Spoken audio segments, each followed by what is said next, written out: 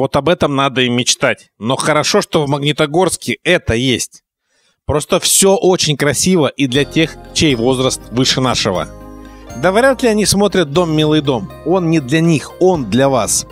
Вы работаете, и у вас нет времени. Это, конечно, плохо. Но хорошо, когда за вашим стариком постоянно присматривают. Отлично кормят, и у него всегда есть должные процедуры. И все это в медицинском центре Рекон. Мы не будем говорить о том, что вы видели, вы это смотрели. Мы поговорим о медицинских услугах и о лучшей практике постановки пиявок и пчел. И это геруда и апитерапия. К слову о том, что можно укусами пчел остановить рак. Не знали? А знаете. Апигерудотерапия. Давайте все-таки объясним, что и герудотерапия – это ваша очистка вашей зашлакованной кровеносной системы. Так же? Конечно. Апигерудотерапия относится к разряду традиционной медицины, которая идет из глубокой древности. А вы все знаете, что мы дети природы, и от чего исходим, и с тем должны и лечиться. И я очень благодарна судьбе, что она меня свела именно с, этой, с этими методами лечения, пчелами и пиявками. Я просто благодарна курортной поликлинике, где я 26 лет отработала, и где я стала единственным в городе специалистом по данным методам лечения, именно по традиционной медицине. Отработав 26 лет, мне повезло, что я встретила людей, которые поняли ценность данных методов лечения и пригласили меня в центр Рекон, где я продолжаю, продолжаю работать по своей любимой специальности. Что касается герудотерапии, то проще сказать, при каких ситуациях она не положена. Это в основном э, низкое артериальное давление – плохая свертываемость крови. А в остальных случаях иногда бывает э, метод один из самых нужных и первых методов. Только почему-то никто же об этом-то не говорит. Ну почему? Потому что, как сказать, забытые традиции. А не надо забытых традиций Конечно. забывать. Давайте все-таки вспомним, что есть страна незабытых традиций, да? Это Конечно. Китай. Да. Там с традициями все абсолютно красиво. И там в Китае лечат и рак в том числе укусами пчел. И это же тоже можете вы сделать здесь? Конечно, конечно, потому что наш город э, экологически неблагополучный, который ведет к снижению иммунной системы любого человека. Будь он спортсмен, будь он простой рабочий, будь он интеллигенция, не имеет значения. Дыша, находясь в таком, в таком атмосфере, э, легко заработать и получить навсегда хроническое заболевание – и поэтому нужно обращаться не к, медимен, не к медикаментозной терапии, к таблетке «выпил и выздоровел», а именно к той методике, которая способствует повышению вашей иммунной системы. Вот теперь мы зададим вопрос. Что же нас так убивает? Да, помнится, в свое время, в году, в 85 году, 85 год, я это хорошо помню, антибиотик у нас был один, пенициллин, он реально хорошо работал. Сейчас у нас море антибиотиков, они не лечат. Почему это случилось? Ну, потому что, назначая тот или иной антибиотик, мы себя подсаживаем, можно сказать, на медикаментозную терапию, кушаем горстями, не учитывая то, что мы садим тем самым свой организм. Оттуда иммунитет просаженный, конечно, и вот конечно. ваш оттуда рак-то и появляется. Мы же потом проверяем себя на кровь, смотрим, а у нас и кровь ухудшилась. А что ж она не ухудшится, если антибиотик уничтожает самые необходимые продукты, это лейкоциты, которые повышают нашу иммунную систему, они снижаются чуть ли не до, нуля. И сколько нужно времени, чтобы повысить э, правильное содержание этих лейкоцитов? Месяцы, понимаете? А если с лейкоцитами совсем все плохо, вот он рак крови. Конечно, конечно. Самый иммунитет, снижение его ведет. Потому что клеточный э, рак клетки, он присутствует у любого человека, у здорового и у больного. Ты дай повод. И она начнет развиваться. Она начнет развиваться. А мы даем повод всевозможными методами. Это непосильный труд. Мы считаем, что если мы больше э, заработаем денег, больше вложим себя в труд, мы станем миллионерами. Ну и куда потом мы эти деньги будем девать? Я вот рассказываю сказку о том, что все миллионеры даже если вы очень крутой миллионер, да, максимальная сумма это 100, 100 тысяч рублей, наверное, потому что вы больше на тот свет не унесете. Ребята, ну, думайте головой прежде всего. Или начинаем кушать. Нам это нравится. Бесконечные конфетки, бесконечные пирожные, бесконечные печеные и все прочее. Но вы иногда заглядываете, посмотрите. Из чего все это зеркало, сделано? Из да. зеркала на себя посмотрите. Ведь нормальная, э, нормальный сустав, позвоночник, он может, может выдержать всего 4,5 килограмма на 1 квадратный сантиметр.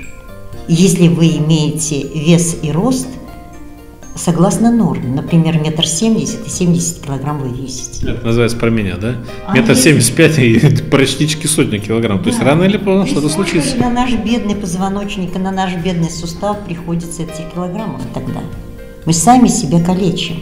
Но зато, придя на прием, мы хотим за один прием сразу вылечиться. То есть выпив данную таблетку, съев данный порошок, проингалироваться и все, мы здоровы. Неправда. Нужно обратиться к себе, потому что каждый профессор своего здоровья. Изучишь себя, изучишь свой организм, будешь ты здоров. Вы знаете, пиявки очень хороши. Кровь мужицкую высасывают. Вот только надо знать, куда ставить. А вот то самое забавное, и по сути мы можем делать сами, но лучше приехать к апитерапевту. Апитерапевты китайские показали мне, куда необходимо ставить пчел при моем раке. Вот сюда. 10 пчел через 3 дня. Потом 2 недели отдых и постоянное продолжение. Только мы вам говорим, что не надо ставить все 10 пчел за раз. Надо ставить 2. Через 3 дня еще 2. И вы посмотрите, рак не уходит, а замораживается. Я считаю, что это круто. Но самое крутое позже. Я стал меньше болеть. Если раньше я лечился антибиотиками, то теперь пункт номер один. Отдых и противовирус. Круто, а то цена упала в пять раз. Здесь все доступно, абсолютно доступны методы лечения. А сколько у вас будет стоить вот пиявочку поставить? Одна пиявка стоит 200 рублей. Это а пчелочка сколько стоит? 50 рублей, одно ужаление. На курс лечения от 50 до 150 ужалений. То есть э, пациент может получать 1, 2, 3 сеанса за неделю.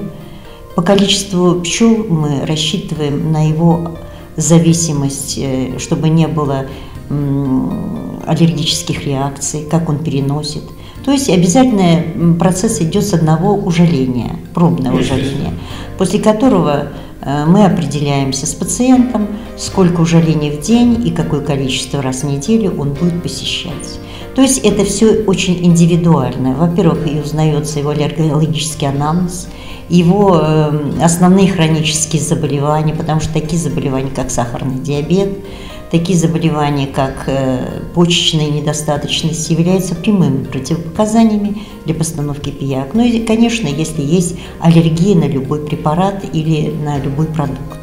То есть идет сначала консультативный прием, на котором четко определяешь, может пациент принимать пчелу или нет. И после этого, после первого ужаления уже определяешься на следующий или через день, какое количество пчел мы можем принять на тот или иной сеанс. То есть это все считается индивидуально. И расчет ведется исключительно для каждого пациента по-своему. А теперь вернувшись на круги своя, еще до того, как мы антибиотики изобрели, каким-то образом Россия, она всегда была интересной и достаточно хорошей и грамотной страной. Мы практически не болели оспой, да, не в том количестве, что было раньше. У нас э, чумка, ну та самая, не так хорошо про нас проходилась. То есть мы, по сути событий, мы мылись постоянно. Это же тоже хорошая тема. Или когда вас там в ши кусают, и вы заражаете сразу, или когда вы постоянно моетесь. Две разные вещи. И мы реально поработали неплохо, да? Батый, потом у нас э, Наполеон тоже от нас. То есть как-то все решили пообщаться типа задавить Россию, но что-то не получилось, правильно? То есть чем-то же лечились, лечились вашими вещами. Да. Но что касается герудотерапии, она известна с глубокой древности, э, когда еще были, можно сказать, в греческих всевозможных раскопках, всевозможных э, китайских, всевозможных там э, тоже раскопках все это находилось. Но в основном герудотерапия используется при отечных вариантах, при гипертонических, при ранах, при всевозможных геморроидальных э, ситуациях, при трофических и варикозных состояниях э, вен. В косметологии в последнее время стали использовать э, после косметических вмешательств на лице. Э, Причем результаты дают очень хорошие. Идет быстрое просасывание рубца. Да я на вас тут посмотрю.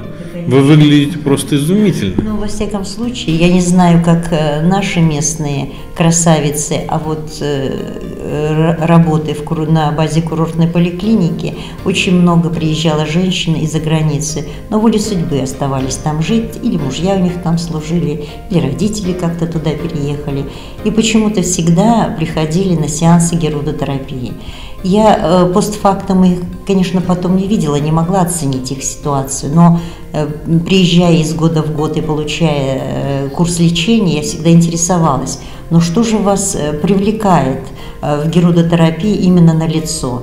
А они говорят, мы когда возвращаемся к себе домой, нас не узнают. Спрашивают, вы не случайно не после косметической операции? То есть э, я убедилась, есть у нас такие пациенты, которые ходят непосредственно не связаны с косметическими операциями, а просто для улучшения микроциркуляции э, кожи лица, э, для выравнивания, для питания, для уменьшения морщин. И я обратила внимание, что действительно, да, результаты очень хорошие, очень хорошие результаты. Во-первых, не остается длительно таких синячков, э, не таких аллергических реакций на пиявку, как, э, например, при постановке на другие части тела. То есть структура кожи лица немножко другая по сравнению с структурой э, тела. И вот эти воспалительные процессы после герудотерапии, они проходят буквально через 2-3 дня. То есть через 2-3 дня пациент приходит на последующую э, постановку пиявок, и тех последствий после первичной постановки пиявок уже не видно. Рекон живет для вас, для тех, кто старше нашего. Да почему для них? И мы можем реально воспользоваться процедурами. Я не буду вам говорить про цены. Вы не помните цен в курортной поликлинике? Так они таковые же. Жалко, что курортной не стало, а точнее лучшие ее специалисты переехали в Рекон. Я честно, зная Магнитогорск, не знаю ни одного человека, ни разу не обратившегося за медицинской помощью. Вот куда, по-моему, вам необходимо таки сходить.